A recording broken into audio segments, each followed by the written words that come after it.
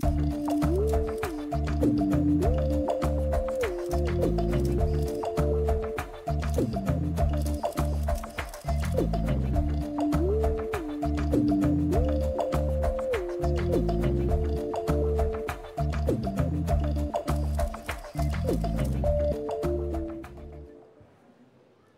Bonjour, bienvenue, on est ravis de vous retrouver un jour en 6 minutes chez vous et on n'est pas seul. Vous êtes tous là, le Loir-et-Cher, la Normandie. Bonjour mesdames et messieurs.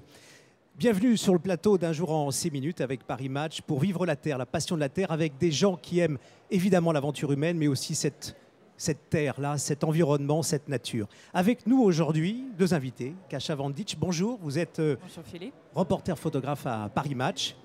Et puis Jacques Duplessis, vous Bonjour. êtes euh, reporter. Et on va se promener avec vous euh, du côté de Cluny. Vous êtes parti avec euh, Kacha, mais on y reviendra euh, pour photographier euh, ces femmes qu'on ne photographie généralement pas. On en dira un peu plus tout à l'heure. Kacha, euh, on vous voit, évidemment, vous êtes photographe euh, aux côtés des, stars euh, internationales. Évidemment, je crois qu'on va d'ailleurs vous voir avec Arnold Schwarzenegger. Vous le photographiez, vous posez avec lui, voilà, à l'écran. Vous êtes avec lui, mais vous vous promenez aussi partout dans le monde et en particulier en France. Vous avez passé un an avec les agriculteurs. Racontez-nous, on va d'ailleurs voir quelques photos. Comment ça s'est passé? Comment avez-vous organisé cette, euh, cette année, euh, justement, euh, en France, ce tour de France euh, des fermes, des propriétés, des exploitations? On voit quelques photos. J'imagine que derrière ces photos que vous apercevez, il y a des anecdotes. Oui, il y en a beaucoup. J'ai du Je mal pense à Paul, entre autres, à Paul Pedel. oui, qui Paul vit entre la terre et, et la mer. Exactement. Euh, vous le voyez pas tout de suite, mais il va apparaître. C'est un célibataire endurci, si on peut le dire, qui a bientôt 80 ans, qui vit dans le Contentin et qui n'a jamais pris un jour de vacances parce qu'il est, il est toujours été euh, trop heureux de rester entre la terre et la mer. Le voici. C'est Paul. C'est Paul, en toute sa simplicité et sa, Et il sa vous a marqué grandeur. Oui, euh, il m'a beaucoup touchée parce que j'ai vu un homme qui était comblé en fait par, euh, par sa passion pour la terre et, et il ne pouvait pas se voir ailleurs, il n'avait pas besoin de prendre des vacances. Il était très bien là où il était, avec sa belle vue. Kacha, ces photographies que l'on voit et que vous avez euh, aperçues justement sur le plateau d'un jour en six minutes, euh, vous pourrez les retrouver dans le cadre d'une exposition, puisque le Warwick euh, vous a récompensé il y a, il y a quelques temps d'un prix, le prix Warwick Évasion, et donc l'hôtel Warwick expose euh, l'intégralité de, ce reportage 5 rue de Berry à, à Paris. Vous êtes également parti avec Jacques Duplessis, qui est là. Jacques, je me tourne vers vous.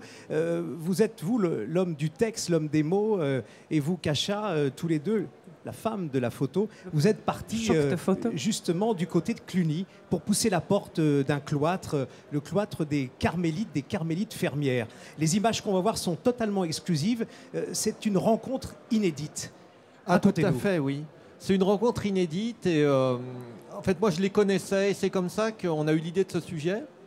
Et euh, elles ont accepté de nous ouvrir leur Carmel pour nous parler de leur rapport à la terre et de nous raconter le choix, puisqu'elles ont déménagé dans les années 70 euh, pour gagner la campagne et devenir fermières en disant on souhaite aussi vivre non seulement la prière, mais une solidarité avec les agriculteurs du coin. Et alors, les agriculteurs, comment entretiennent cette, elles cette relation, puisqu'elles sortent peu Pas du tout? Elles sortent relativement peu, euh, puisque leur première vocation, donc c'est la prière, c'est un ordre cloîtré. Euh, mais en fait, euh, la solidarité se joue avec des voisins parce qu'elles ont besoin, euh, par exemple, des relations avec les paysans, puisqu'elles-mêmes ne venaient pas de ce milieu-là. Donc elles ont eu tout à apprendre. Donc elles ont noué des liens avec les paysans pour apprendre les vélages, puisqu'elles ont des vaches, elles ont des moutons. Donc elles se sont inculturées, elles sont devenues fermières euh, progressivement. Donc elles ont chacune un, un rôle particulier. Il y a celle qui s'occupe des animaux, celle qui s'occupe de la terre. Tout à fait. Elles font aussi des fromages, elles font du beurre. euh, voilà. L'idée pour elles, c'est de euh, vivre de ce qu'elles produisent. Alors il y a une information qui nous arrive qui vient des, Pays-Bas et qui confirme un peu ce que, vous avez dit au fond, euh, puisqu'elles sont autonomes. La, petite taille euh, des exploitations aux, Pays-Bas euh, pousse et oblige justement la population et le pays à développer les, exportations de, de leur euh, production qui sont très intenses. Elles pourraient elles-mêmes aussi, ces carmélites, se tourner vers l'exportation et vendre à l'extérieur. Oui, tout à fait. Mais je vais dire, elles le refusent parce qu'elles disent on n'est pas là pour produire plus, pour gagner plus. Euh, L'idée euh, qu'elles ont, c'est d'être autonomes et de se suffire. Elles adaptent leur production en fonction de la taille de la communauté et en fonction des hôtes qu'elles accueillent. Jacques, euh, une dernière question et, Kacha, la question de l'émission, un jour en six minutes. Si vous avez, vous qui êtes très actif, six minutes, rien que pour vous, qu'est-ce que vous faites? Alors je me pose dans l'endroit où je me retrouve, je contemple et je me réjouis. Jacques? Ah, c'est, on va, je vais copier. C'est vrai qu'on est tout le temps pris par l'information. euh, voilà, Twitter, euh, les dépêches AFP. euh, et c'est vrai, quand j'ai six minutes à moi, j'aime bien me poser aussi, regarder autour de moi, rêver. Merci beaucoup à tous les deux. À bientôt sur le plateau d'un jour en six minutes. Merci.